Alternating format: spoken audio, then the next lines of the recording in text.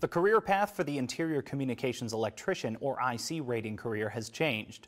The new NAVADMIN includes the rank of Master Chief, which was previously designated as Electrician's Mate, and IC sailors E3 and below are redesignated from Fireman to Seaman. To, you know, having the IC, IC Master Chief, I, I think that, that, it'd be better for us, actually. Because the, the advancement percentage has been really, really low for ICC, and perhaps it'll open the rate up a little bit.